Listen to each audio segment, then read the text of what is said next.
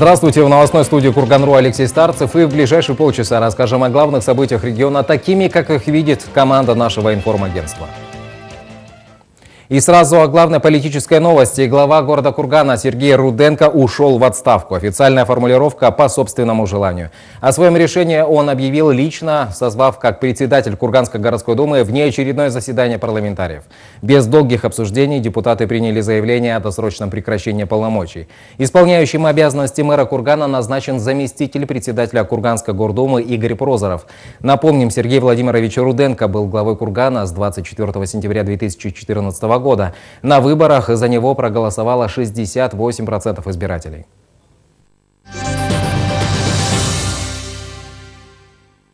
Не менее важное событие и тем более регионального масштаба. В Рио губернатора Вадим Шумков встретился с генеральным консулом Вьетнама в Екатеринбурге Нгоф Ионенге. В ходе рабочей встречи обсудили перспективы торгово-экономического сотрудничества. Среди направлений взаимодействия обозначено и машиностроение, автобусы, коммунальная техника и техника для тушения пожаров.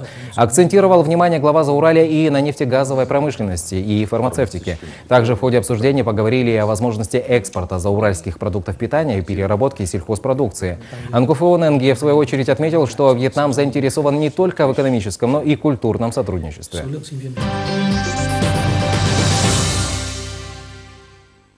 Продукция зауральского предприятия по достоинству оценена на престижном международном конкурсе «Продэкспо-2019» в Москве. Речь о крупнейшем рыбоводном предприятии Курганской области «Сибирская тема». Компания представила здесь весь спектр своей продукции – рыбу, минеральные воды и лечебную грязь. Экспертами она удостоилась звания лауреата международного конкурса и награждена золотой медалью за вклад в развитие пищевой промышленности. Как уточняет областной департамент АПК, «Сибтема» является крупнейшим производителем пеледей на юге Западной Сибири. Предприятие занимает занимается не только выращиванием рыбы, но и ее переработкой, вялением и копчением.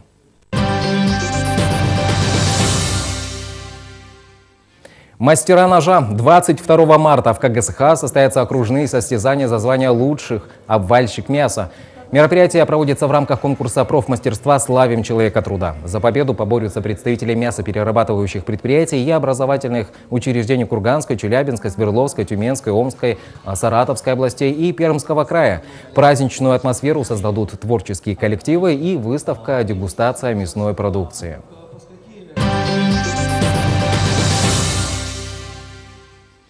К другим темам. Буксующие автомобили, горожане, утопающие по щиколотку в снегу и соцсети, заваленные не осадками, а сотнями комментариев, что курганские дворы и дороги плохо убираются.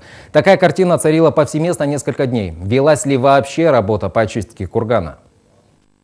3 марта, как и предсказывали синоптики, на Курган обрушился обильный снегопад, но и до него горожане отмечали, что не могут комфортно передвигаться по улицам и дорогам не то что на ногах, даже на автомобилях. На парковке, газоны, пешеходные дорожки коммунальщики то и дело сваливают горы снега и льда. Порой люди подшучивают, что Курган превратился в заснеженный арктический лес, тяжело передвигаться. В город администрации рассказали, что реагируют на ситуацию. На уборку улиц после большого снегопада были брошены все силы. 3 числа у нас произошел большой снегопад.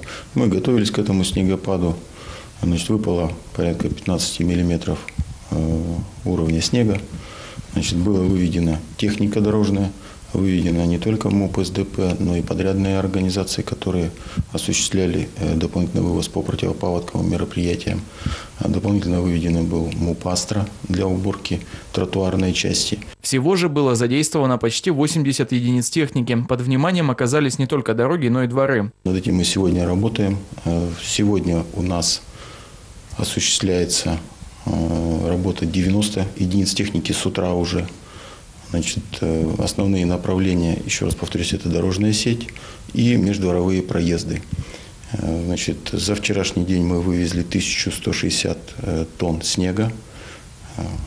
Сегодня в 2 часа Департамент жилищно-коммунального хозяйства по моему указанию собирает управляющие компании совместно государственной жилищной инспекцией для того, чтобы была организована уборка во дворах к слову, синоптики вновь обещают на этой неделе сильные снегопады, и Андрей Потапов уверяет городские службы в полной боевой готовности. Отметим, что управляющие организации, которые вовремя не организуют уборку дворовых территорий обслуживаемых домов или сделают это некачественно, будут привлечены к административной ответственности. Павел Баев, Дмитрий Тихонов, Александр Карпов, информационное агентство Курган.ру.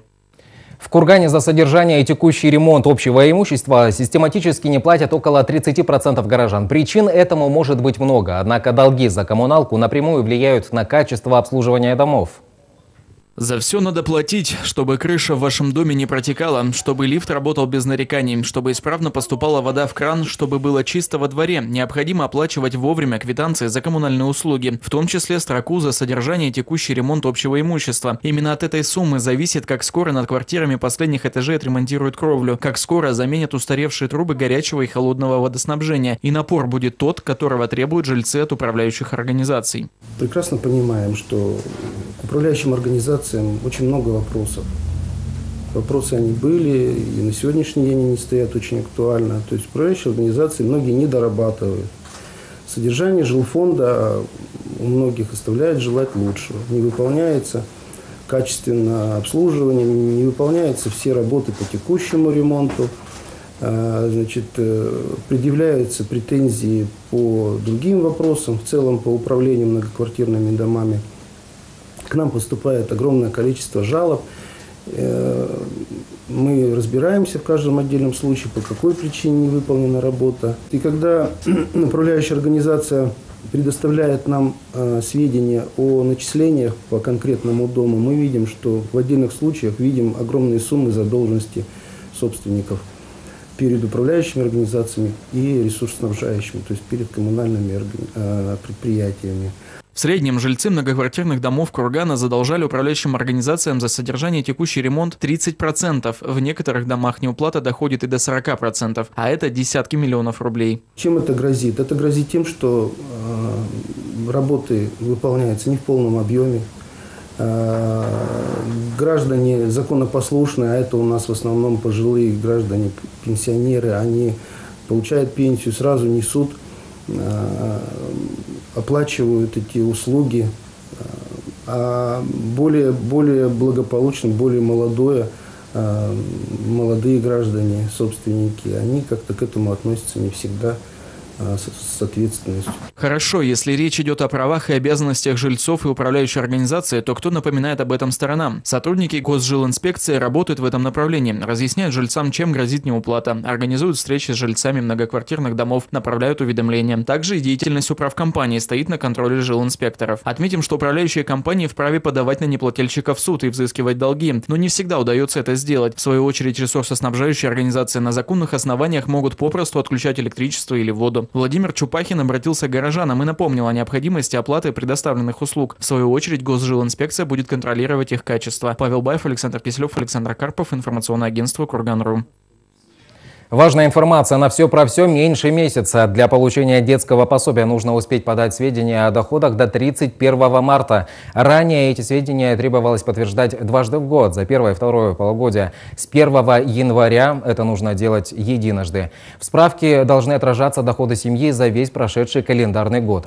Правило касается впервые заявивших на детское пособие. Остальным нужно успеть донести справку за второе полугодие прошлого года. Если этого не сделать, с 1 апреля выплата пособия будет приостановлена. Обо всех других подробностях можно узнать в органах соцзащиты по месту жительства.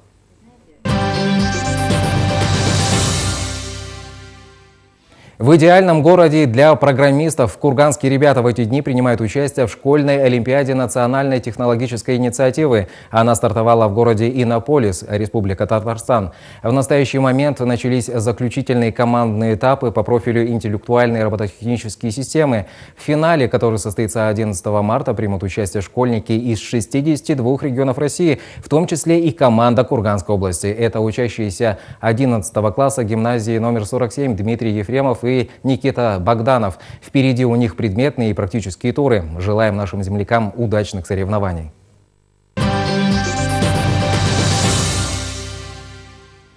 Индиго дарования изумруды Курганской области. Областной департамент образования объявил о старте конкурса на лучшее название для регионального центра выявления и поддержки одаренных детей.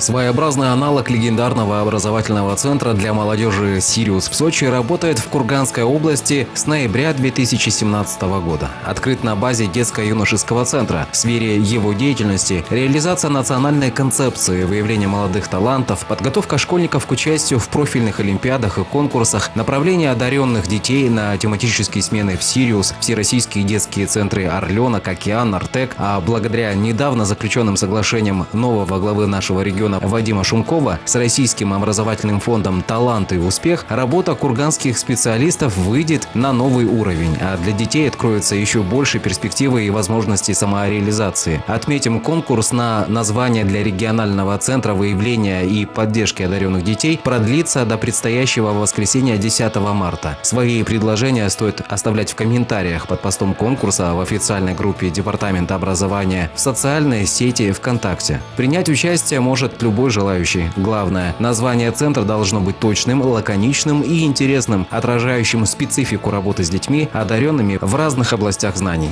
Алексей Старцев, Лидия Кайгородцева, информационное агентство «Курганру».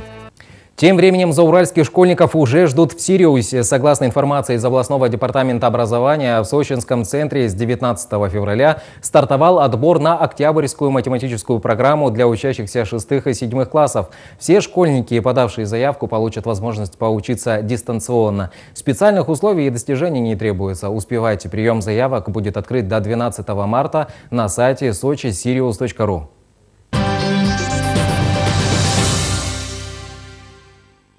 Одновременно с этим Зауральский симфонический оркестр представил публике новую программу. На сцене областной филармонии звучали упоительные мотивы латиноамериканской музыки 20 века.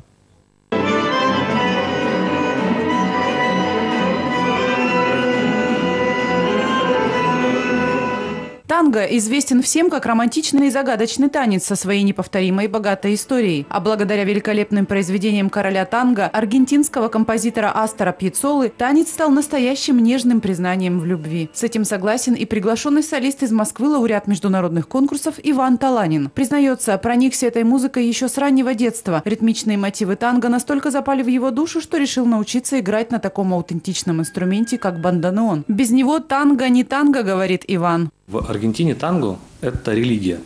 И, например, когда ты садишься в такси, то водитель такси может слушать музыку танго. Он может также ее напевать. Действительно, куда бы ты ни зашел, куда бы ты э, ни, ни делся, везде тебя окружает аргентинская танго. В первом отделении прозвучали сочинения Астора Пьецолы, Либертанго, Обвиллион, произведение Роланда Диенса «Фальшивая танго», а также «Заклинатель дождя» от известного в России гитариста и композитора Олега Киселева.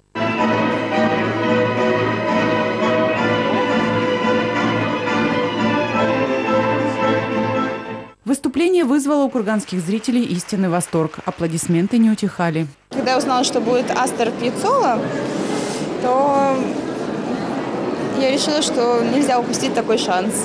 Да, и тем более были мои любимые композиции, и всем известные. Это «Либертанго» и «Обвиллион». Когда-то «Обвиллион» был таким моментом в моей жизни очень весомым, поэтому сейчас даже такие эмоции нахлынули, классно было. Я почувствовала, прочувствовала эту музыку через себя, и эмоции после этого концерта просто переполняют меня. Эмоции очень хорошие, прекрасные. Очень тяжело усидеть на стуле, когда такие звучат исполнения то, что Курган развивается, очень прекрасно. Сегодня уже невозможно представить мир без музыки, песен, танцев, ритмов танго. И курганцы надеются, это был не единственный концерт, который окрасил их жизнь хоть и на один вечер в невероятно живые краски чувств. Анастасия Ланская, Тимур Ноцулханов, Владислав Базалев, Александр Карпов, информационное агентство Курган.ру. Движение – это жизнь, а спорт еще воспитывает характер, укрепляет силу воли и дисциплинирует. С этим вряд ли кто-то поспорит. Но вот совсем другое дело – доступность спортивных объектов. Везде за все нужно платить. Так до недавнего времени думали многие из нас. А оказывается, нет. В правительстве области развенчивают некоторые мифы и рассказали о нужной информации. Бесплатный спорт. Очень долгое время зауральцы озадачивались вопросами, где в регионе можно бесплатно позаниматься физкультурой. С сожалением вспоминали советские времена, когда он был доступен всем и каждому. С приходом нового главы Курганской области Вадима Шумкова на сайте областного правительства появился список госучреждений, где дети из многодетных и малоимущих семей, дети-сироты, люди с ограниченными возможностями здоровья в Зауралье могут бесплатно заниматься спортом и получить физкультурно-оздоровительные услуги. Он размещен на сайте правительства правительства региона в разделе «Жителям области» подразделе «Спорт». Пока в перечне указаны только спортобъекты Кургана и Шадринска. Здесь же размещена информация и об адресах и графике работы учреждений. В дальнейшем список будет дополнен муниципальными учреждениями городов и районов области, в которых также работают бесплатные спортивные секции для детей и взрослых. Алексей Старцев, Александр Карпов, информационное агентство Курганру. Самбисты против наркомании, беспризорности и подростковой преступности. Ежегодный одноименный турнир вновь состоялся в регионе. На этот раз был приурочен к 80-летию развития самбо в России. Как сообщает молодежный портал «Проспект 45», для участия со всех районов съехались более 150 спортсменов, юноши и девушки 2005-2006 годов рождения. Мероприятие прошло при поддержке УМВД. Бойцы спецназа провели показательные выступления, владение боевыми приемами борьбы с применением огнестрельного оружия, оружия и специальных средств.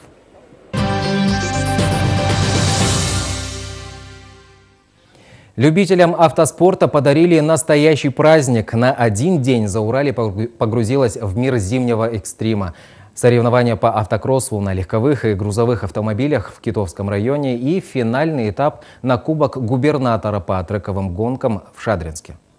На заснеженной трассе вблизи деревни Патронная Китовского района состоялся первый этап Кубка Зауралья по автокроссу и гонка заезд на грузовиках. Лучших из лучших в классе D2 классика выявляли 12 спортсменов из Курганской и Свердловской областей. Все места на пьедестале достались курганцам. Золото завоевал Дмитрий Кодин, Сергей Наволоков финишировал вторым, бронза у Ивана Масько. А вот в заезде грузовых автомобилей все призовые места ушли к автогонщикам из Свердловской области. На этом зимний экстрим не закончился, а в тот же день в Шадринске на стадионе «Торпеда» состоялся финал Гран-при межрегионального кубка по трековым автогонкам «Шадринские огни-2019». В заездах приняли участие 20 гонщиков. Сильнейших ждала финальная битва за кубок губернатора Курганской области. К сожалению, для зауральцев удача была не на их стороне. В классе «Супер 1600» лучшим оказался свердловчанин Филипп Жигулин. Серебро у Михаила Дорощука из Перми, бронза у Андрея Тюрина из Верхней Пышмы. В классе D3 мини никому равных не было автогонщикам из Верхней Пышмы. Они заняли заняли весь пьедестал. Максим Ахахонин, Тимур Нацулханов, Александр Карпов, информационное агентство «Курган.ру». Решающая пора настала. Хоккеисты из Уралия прилетели в Воскресенск, уже успели сыграть матч. Об его итогах расскажет Михаил Котельников. Матч под номером 3. Воскресенск. Арена Подмосковье. Химик Зауралье. Ключевой матч серии, где проигрывать нельзя ни одной из команд. Хозяева с первых секунд бросились поддавливать соперника. Столь активное начало сразу вылилось в гол Ильи Коренева. В начале второго периода Зауралье получило численное большинство, и тут же его реализовал Григорий Глебов. 1-1 на табло после двух третий. Заключительный период прошел под диктовку химика, но курганцы сумели убежать в быструю контратаку и Тимофей Менщиков зажег красный свет за воротами Хомченко.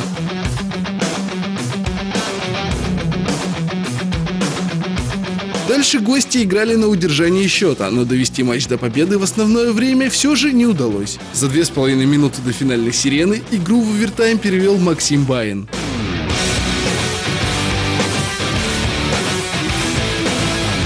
В экстра-тайме игровым преимуществом владели воскресенцы, но сыграли нерасторопно и удалились. Евгений Сулимов наказал химик за ошибку в обороне и принес за Уралью такую нужную и такую важную победу. Счет в серии 2-1. Надо делать результат здесь и сейчас, как говорится, а не ждать, когда он когда-то придет, как бывает в регулярке. Ну, сегодня не получилось, завтра поедем там другую игру выиграем, наберем очки. Здесь такое не проходит уже. Курганцам осталось сделать всего один шаг на пути к четвертьфиналу. Возможно, он будет сделан уже 5 марта. Михаил Котельников, Антон Тяженков, информационное агентство Курганру. На дворе масленичная неделя. Проводится шумно и весело. Кроме подготовки мест для народных гуляний, в домах уже пекут блины, оладьи, пироги да калачи. Команда нашего информагентства подготовилась и нашла интересный рецепт блинов. Ответственный за приготовление Павел Баев. К началу масленичной недели мы задумались, чем удивить наших телезрителей. Какой рецепт блинов мы еще не пробовали. В поисках интересного на просторах интернета мы наткнулись на блины на минеральной воде. Просто, некалорийно и полезно. Уже традиционно команда Курган.ру подготовила для вас, уважаемые телезрители, э, рецепт блинов на масленичную неделю. В этот раз мы будем готовить э, блины не на молоке, не, из какой-нибудь там гречки, а на минералке. А мне сегодня будет помогать и ассистировать прекрасная Мария. Мария, добрый день. Добрый день. Для приготовления вам понадобится пара куриных яиц, 2 щепотки соли, 2 столовые ложки сахара, 3-4 столовые ложки растительного масла, 300 грамм муки и, конечно, пол-литра газированной минеральной воды. А если нужна минеральная вода, то это только за уральские напитки. Кстати, теперь воду можно заказать прямо домой или в офис. А качественные яйца, муку, соль, масло и сметану вы сможете найти в магазине низких цен Доброцен. Здесь всегда представлен широкий выбор продуктов питания по самым приятным ценам. Для начала берем яйца, разделяем Отделяем белок от желтка. Белок взбиваем до плотной пены. Желток перемешиваем с солью. Далее все аккуратно соединяем друг с другом. Дружим их вместе, добавляя при этом сахар. Далее аккуратно вливаем минералку. Не бойтесь, жидкость начнет вспениваться. Постепенно добавляем муку, предварительно просеяв ее. Это максимально насытит ее кислородом. Блинчики будут воздушными, как облака. Таять во рту. Взбиваем венчиком и оставляем отдохнуть тесто на 10-15 минут. А дальше все как обычно. Горячая сковорода, в нашем случае сразу две, смазываем их растительным маслом и вперед, печем блины. Но будьте осторожны, наклонять сковородку необходимо быстро, иначе блин получится толстым.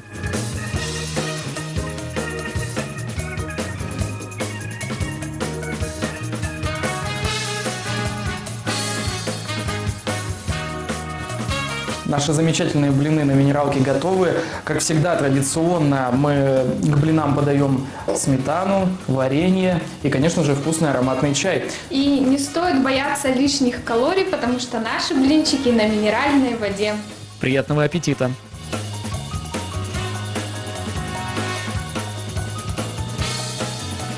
Павел Баев, Александр Киселев, Владислав Базлев, Лидия Кайгородцева, информационное агентство Курган.ру. Весна вступает в свои права, и весь город готовится к самому женственному празднику 8 марта. О том, чем можно порадовать милых дам, узнайте прямо сейчас. Дорогие женщины, специально для вас в преддверии праздника мы полностью обновили наш ассортимент. У нас абсолютно новая весенняя коллекция женских и мужских курток, разнообразных цветов и фасонов, самых нежных и теплых оттенков – и действительно, выбор здесь огромный. Более трех тысяч моделей. Цвета и фасоны на любой вкус. Размерный ряд от 42 по 72. Найдутся как интересные молодежные модели, так и классические для старшего поколения. Однако важен не только внешний вид, но и качество. Ведь хочется, чтобы любимая курточка прослужила не один сезон. На ярмарке верхней одежды «Ермак» все куртки отшиваются на современном оборудовании по последним стандартам качества и имеют долговечную фурнитуру. В преддверии весенних праздников захотелось обновить гардероб, поэтому я, как всегда, пришла на ярмарку верхней одежды «Ермак», чтобы купить вот такую вот яркую куртку. Продавцы, как всегда, прекрасные, помогли с выбором. Выбор здесь огромный и цены демократичные. Отзывчивые продавцы-консультанты помогут не потеряться в море цветов и размеров. Подберут идеальную, подходящую именно вам модель. Также стоит отметить грамотное деление магазина на мужскую и женскую половины. Для мужчин найдутся интересные и практичные модели. А самое главное – это цена. Цена от производителя. Вы сможете обновить гардероб всей семьи и не разорить бюджет что нам нравится, и выбор, и цены нравятся. Потому что пенсии у нас небольшие, вот поэтому и выбираем в Ермаке. Тем, кто уже задумался о легких ветровках, тоже будет из чего выбрать. На ярмарке верхней одежды «Ермак» представлены легкие и комфортные модели для поздней весны. За отличным настроением вас ждут на Коле Миготина 87. Ярмарка верхней одежды «Ермак» работает ежедневно, по будням с 10 до 20 и с 10 до 19 в воскресенье. Один от всех, от мала до велика. Магазин «Планета Одежда Обувь» ждет всех курганцев за новой весенней коллекцией. Зима подходит к концу, а значит, пришло время менять свой гардероб. Магазин «Планета Одежда Обувь» приглашает всех курганцев за выгодными покупками. Приглашаем вас в магазин «Планета Одежда Обуви». У нас очень большой ассортимент. От одежды для новорожденных, также до одежды для взрослых. И все по доступным низким ценам.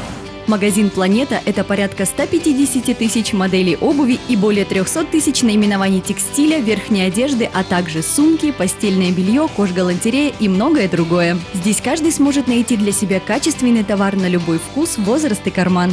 Сегодня пришел за кроссовками, вот. Готовимся уже все к весне. Доступные цены очень не кусаются по сравнению со всем, что происходит в Волгане. Да. Ну, здесь мы действительно частые покупатели. У меня тут детки, внуки одеваются, да? Приходим, прибегаем. Но сегодня зашла посмотреть, что новенького у них есть. Коллекция, может, какая-то новенькая, ну, привезенная. Прицениться, посмотреть. Магазин «Планета. Одежда. Обувь» находится по адресу город Курган, улица Кравченко, 92, второй этаж. Приходите, одевайтесь, готовьтесь к весне. На этом все. Я с вами прощаюсь. Всего доброго.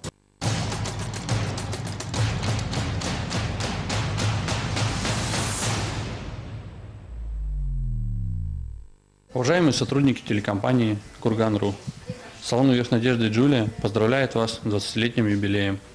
Все эти годы вы росли, развивались и создали крупнейшую медиаструктуру в Курганской области. Сотрудничая с вами многие годы, мы всегда убеждались в вашем высоком профессионализме. Благодаря труду корреспондентов, ведущих, операторов и многих других, кто находится за кадром, вы создаете качественный информационный контент. Преданность профессии, энтузиазм и организованность помогали вам все эти годы добиться высоких результатов. Салон верхней одежды Джулия желает вам только хороших новостей, искренних и преданных друзей, творческого вдохновения в вашем нелегком и интересном деле, больших побед и много везения. Спасибо вам за ваш труд.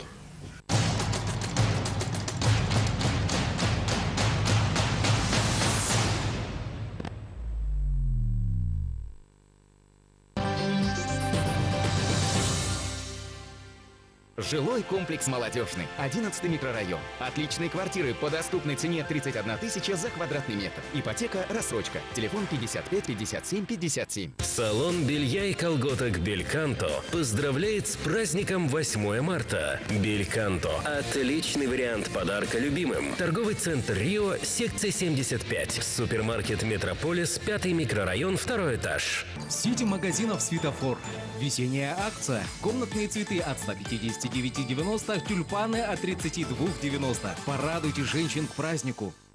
Установите газобаллонное оборудование на свое авто и получите полный баллон газа в подарок. Звоните 8 908 300 45 05. С 15 апреля аналоговый сигнал отключат в следующих регионах. Узнайте, как перейти на цифру по телефону 8 800 220 2002 или на сайте смотрицифру.рф.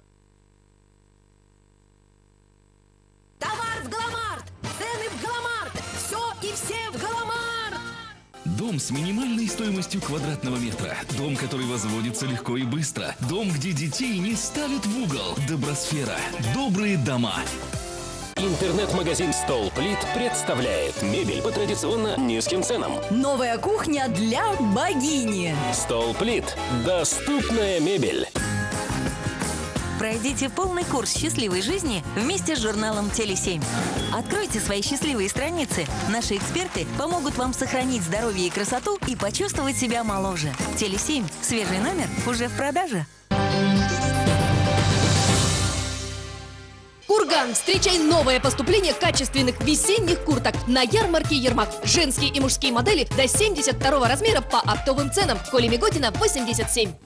Здравствуйте! С прогнозом погоды вас знакомит Ксения Аванесова. Новое поступление качественных весенних курток на ярмарке Ермак. Женские и мужские модели до 72 размера по оптовым ценам. Ермак, Коля Миготина, 87. А теперь о прогнозе синоптиков. В ночь на среду погожий антициклон будет держать оборону в Зауралье. Днем же через регион пройдет теплый атмосферный фронт, сопровождаемый натеканием многослойной облачности, небольшими снегопадами и вторжением атлантического воздуха с температурным фоном на 2-4 градуса выше своей климатической нормы. В Екатеринбурге 0 плюс 2, Челябинске и Тюмени около нуля небольшой снег – Кургане переменная облачность без осадков. Ветер южный 2,7 метров в секунду. Температура воздуха минус 15, минус 17. Днем в Кургане облачно, небольшой снег, метель. Ветер юго-западный 5-10 метров в секунду. Порывы до 17 метров в секунду. Температура воздуха 0, минус 2. Атмосферное давление будет падать и составит 749 миллиметров ртутного столба. 6 марта солнечная активность умеренная, геомагнитное поле неустойчивое. На этом я прощаюсь с вами. Всего доброго!